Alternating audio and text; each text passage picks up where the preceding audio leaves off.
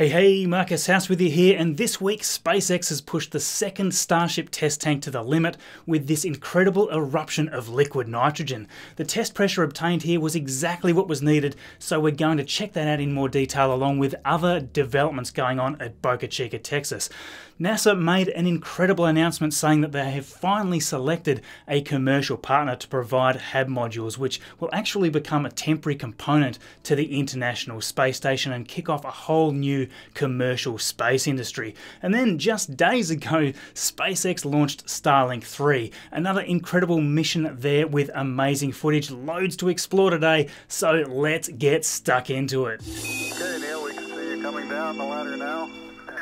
Early in the week, NASA announced that it had selected Axiom Space to provide at least one habitable commercial module which will be attached to the International Space Station. Now, we've known this opportunity has been on the cards for a while, but this is all starting to make it sound very official. It's going to be a game changer for the commercial space exploration and future space tourism industries.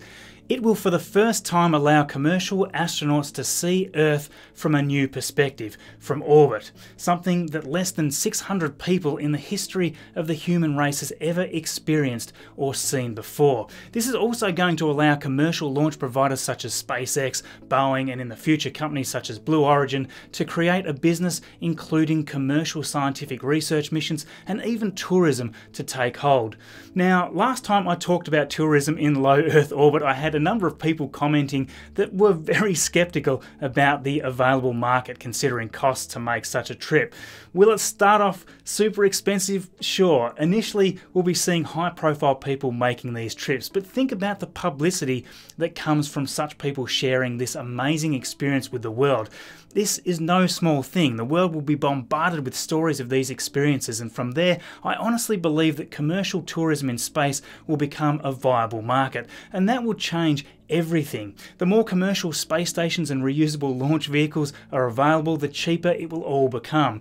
SpaceX's current goals of building a fully reusable Starship that could carry 100 people or more to orbit at a time is incredible in itself. Aspirationally, Elon Musk believes their super heavy launch vehicle and Starship could cost around $2 million per launch, factoring in fuel and operational costs, which he talked about a few months ago at the first US Air Force Space Pitch Day. Now, obviously, there is a long way to go before we will know how true this could be, but if that works out to be true, a trip to space on this vehicle could be as low as $20,000 per seat, even less if the number of people on board are increased, which could certainly be possible in low Earth orbit missions.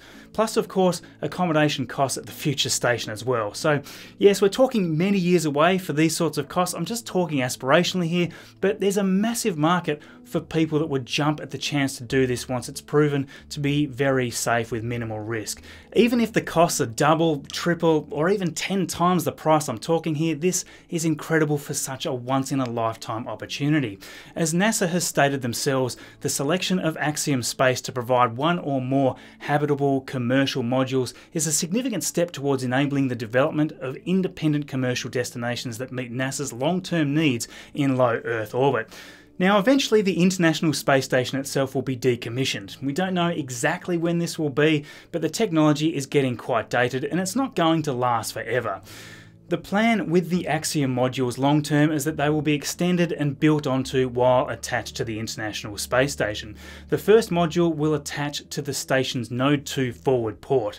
At the end of the International Space Station's life, the Axiom station will detach and operate on its own into the future. A pretty amazing vision there, and we can see some of these designs here that show what the station could end up becoming over time. NASA's administrator Jim Bridenstine said that Axiom's work to develop a commercial destination in space is a critical step for NASA to meet its long term needs for astronaut training, scientific research, and technology demonstrations in low Earth orbit.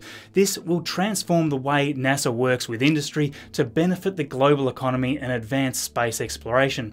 It is a similar partnership that this year will return the capability of American astronauts to launch to the space station on American rockets from American soil. And of course, there he's referring to the very exciting missions coming up for both SpaceX's Crew Dragon and Boeing's Starliner. Now, if you would like to know a little bit more about SpaceX's Crew Dragon progress, I've got a more in-depth video here about the recent in-flight abort test and future missions. And while you're here, please do consider subscribing. There is loads of news coming up with Starlink, Starship development, and Crew Dragon, and I'd love to share all that with you. So after a number of launch scrubs due to weather, the Starlink 3 mission launched a few days ago. Now, confusingly, this is actually the fourth batch of 60 Starlink satellites to launch. As I talked about in last week's video, the reason for this naming is the first set of 60 were considered version 0.9 satellites, Starlink 1, 2 and 3 are version 1s. Now, very soon, SpaceX's Starlink network will be providing fast internet access globally. This is no small thing. The network will be a first of its kind. If Starlink can achieve the goals with this network, the internet service providers around the world will have some serious competition, especially with rural areas um, and underserved areas that are expensive. Now, all you will need is a Starlink terminal, which you'll just need to plug in, point at the sky, and then you'll be online. What's even better is that this could be used on mobile vehicles, boats, aircraft positioned almost anywhere in the world. This is going to be a game changer. Of course, from SpaceX's point of view, it'll provide a substantial new revenue stream that will allow them to accelerate that ultimate goal of colonising Mars.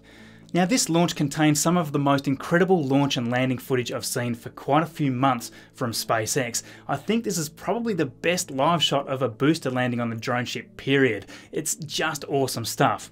After this launch there are now around 240 Starlink satellites in orbit and this is only the beginning with many more launches coming up this year. The mission was launched with the booster designated B1051, the same booster that launched Crew Dragon's Demo 1 mission as well as the RadarSat constellation constellation last year. So that was the third flight for the booster and the second drone ship landing. And what a drone ship landing it was.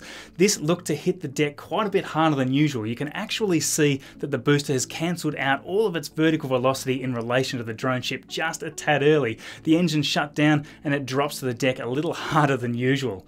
Incredible uninterrupted footage though, so it's quite rare considering the distance, roughly 630 kilometres downrange. Now, both fairing capture ships Go Miss Tree and Go Miss Chief were deployed to attempt a double fairing catch. Miss Tree caught this one half, so awesome news there. Go Miss Chief apparently just narrowly missed the fairing, but was still able to recover it from the ocean. As we've seen with previous launches, the stack of 60 satellites were deployed in a single orbital plane at around 290 kilometers in altitude. Again, beautiful footage there. These satellites will be using their own onboard Krypton powered ion thrusters to place themselves into their final resting orbit at around 550 kilometers in altitude. But they don't all start raising their orbits together. They will actually be splitting up into three groups of 20 into different orbital planes. I touched on this last week, but find it quite interesting how they do this. Essentially, satellite operators can control each set of 20 by raising their orbit and taking advantage of the Earth's equatorial bulge to alter the precession rates of the orbit and modify the longitude of the ascending node. This is all essentially very cheap from a fuel point of view as groups of 20 can just sit in lower orbits while the initial sets are raised. They just need to wait until the correct time to begin raising the orbit. Obviously when in a lower orbit they will experience a little more drag and they'll need a little more fuel to boost to that final resting orbit but this I believe is minimal overall. So yes, interesting stuff there, but what is even more interesting is the amazing news from Starship development at Boca Chica going on right now. My last video ended off showing the header tank and the nose cone undergoing testing. The next day, this had been tested to destruction, giving us some quite unique shots here. Early in the week, the second large test tank was rolled to the launch site. Very quickly, the tank was tested at room temperature, and this seemed to go very well. Quickly afterwards, Elon Musk tweeted saying that the 9 meter wide test tank made 7.5 bar at room temperature, and that there was a small leak, but that would be repaired and retested with cryogenic liquid. 8.5 bar of pressure is the requirement for a human rated vehicle, so this was getting very close. Tim Dodd got an official answer out of Elon shortly after asking if he was feeling confident enough in the welds and manufacturing to go ahead with the SN1 Starship build. Elon gave the thumbs up to that, so everything was looking very positive. One of the more interesting parts to the conversation was in regards to the material strength in general. John here pointed out that the particular type of stainless steel being used is in fact at its weakest state at room temperature. Increasing or decreasing the temperature actually improves the strength. The next day the repairs were done and SpaceX prepped the tank for the final test. The aim for this test was to push the tank to the limits to see what it could handle. Now, this footage here is captured by Boca Chica gal with NASA Spaceflight, and if you're not subscribed to the channel already, there's a link for that in the description because they're generally the first to provide these incredible updates. Now, check this out.